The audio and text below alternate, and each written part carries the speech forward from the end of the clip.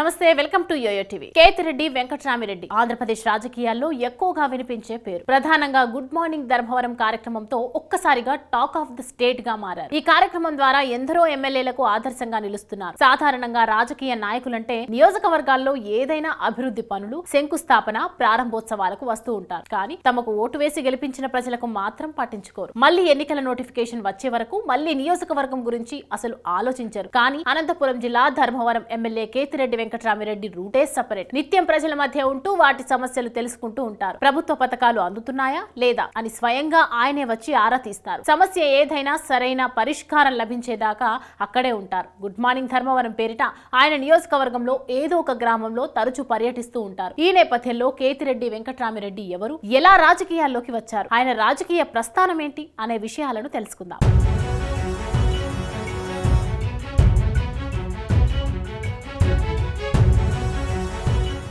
కేతిరెడ్డి వెంకటరామిరెడ్డి. పంతొమ్మిది వందల ఎనభైలో కేతిరెడ్డి సూర్య ప్రతాప్ రెడ్డి దంపతులకు అనంతపురం జిల్లా ధర్మవరం నియోజకవర్గం ఎల్లనూరు మండలం తిమ్మంపల్లి గ్రామంలో జన్మించాడు. వారిది రాయలసీమ ఫ్యాక్షన్ నేపథ్యం ఉన్న కుటుంబం. కేతిరెడ్డి జన్మించే నాటికి అంటే పంతొమ్మిది వందల ఎనభై ప్రాంతంలో రాయలసీమలో ముఖ్యంగా అనంతపురం జిల్లాలో ఫ్యాక్షన్ తాండవిస్తోంది. దీంతో కేతిరెడ్డి వెంకటరామిరెడ్డి తండ్రి ఆయనను మూడేండ్ల వయస్సులో తాడిపత్రిలో ఉన్న అరవింద్ ఆశ్రమంలో చేర్పించారు.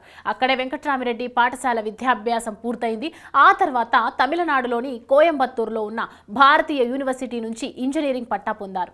ఆ తర్వాత రిలయన్స్లో మంచి ఉద్యోగం రావడంతో హైదరాబాద్కు మారారు. ఈ తరుణంలో సుప్రియా రెడ్డితో వివాహం జరిగింది. కొన్ని రోజులు హైదరాబాద్లోనే జీవనం కొనసాగించారు. కేతిరెడ్డి వెంకటరామిరెడ్డి తండ్రి సూర్య ప్రతాప్ రెడ్డి కాంగ్రెస్ తరపున పంతొమ్మిది వందల తొంభై తొమ్మిది ఎన్నికల్లో ధర్మవరం ఎమ్మెల్యేగా పోటీ చేసి గెలుపొందారు. కానీ ఈ ఎన్నికల్లో ఓటమి పాలయ్యారు. ఈలోగా కేతిరెడ్డి నాన్న సూర్య ప్రతాప్ రెడ్డి ఆరోగ్యం చెడిపోయింది. షుగర్ వ్యాధితో పాటు రెండు కిడ్నీలు కూడా చెడిపోయాయి. ట్రీట్మెంట్ కోసం రెండు వేల ఆరులో హైదరాబాద్ వచ్చాడు. కిడ్నీ ఆపరేషన్ అయ్యాక ఇంటికి తిరుగు ప్రయాణం అయ్యారు ఇదే అదునుగా భావించిన ప్రత్యర్థులు ఆయనను తాడిపత్రి రైల్వే స్టేషన్లో వేట కొడవలతో నరికి చంపేశారు. ఈ దుర్ఘటన కేతిరెడ్డి వెంకటరామిరెడ్డి జీవితాన్ని మార్చివేసింది. తన కుటుంబానికి అండగా నిలవడానికి వెంకటరామిరెడ్డి ఉద్యోగం వదిలేసి రాజకీయాల్లోకి రావాల్సి వచ్చింది.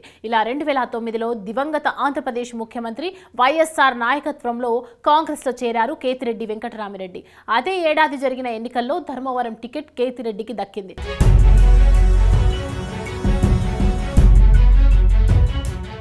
కేతిరెడ్డి మొత్తం ధర్మవరం మీద పట్టు సాధించాడు. రెండు వేల తొమ్మిదిలో తన సమీప అభ్యర్థి జి సూర్యనారాయణ మీద పంతొమ్మిది వేల నూట డెబ్బై రెండు ఓట్ల మెజారిటీతో గెలుపొందారు. ఆ తర్వాత రెండు వేల పద్నాలుగు ఎన్నికల ముందు వైఎస్ఆర్ పార్టీలో చేరారు. కానీ ఆ ఎన్నికల్లో కేతిరెడ్డిని ప్రజలు ఓడించారు. టీడీపీ అభ్యర్థి సూర్యనారాయణ చేతిలో పద్నాలుగు వేల తేడాతో ఓడిపోయారు. అయినా ఆయన ఏమాత్రం నిరాశ చెందకుండా ఓడిపోవడానికి కారణాలేంటి? తనలో ఉన్న లోపాలు ఏంటో తెలుసుకున్నారు. ఆ తర్వాత నిత్యం నియోజకవర్గంలో ఉంటూ ప్రజల సమస్య పరిష్కారానికి కృషి చేశారు.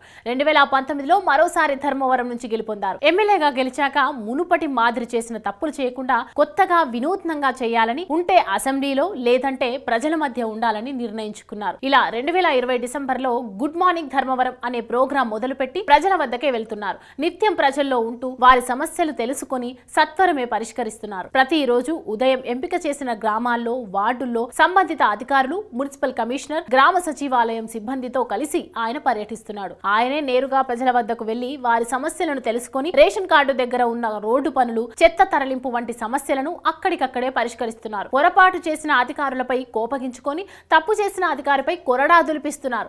మళ్ళీ అలాంటి పొరపాట్లు చేయవద్దని వార్నింగ్ కూడా ఇస్తున్నారు. పేరుకు తగ్గట్టు ధర్మవరంలో ఇక నుంచి ఫ్యాక్షన్ ఉండకూడదని అంతా ధర్మబద్ధంగానే ఉండాలని రాగద్వేషాలను విడనాడాలని అందరికీ విజ్ఞప్తి చేస్తున్నారు. ఇక వివాదాల విషయానికి వస్తే సుదీర్ఘ రాజకీయ ప్రస్థానంలో వెంకటరామిరెడ్డిపై ఎన్నో ఆరోపణలు వచ్చాయి. ముఖ్యంగా ధర్మవరం చుట్టుపక్కల ఉన్న ప్రభుత్వం భూములను వెంకటరామిరెడ్డి తన అనుచరులకు అప్పనంగా అప్పగించారని ఆరోపణలు వచ్చాయి. ఇలాంటి నేపథ్యంలో మరోసారి ధర్మవరం నుంచి అసెంబ్లీ బరిలో నిలిచారు. మరి ఈసారి కేతిరెడ్డి విజయం సాధిస్తారో లేదో చూడాలి.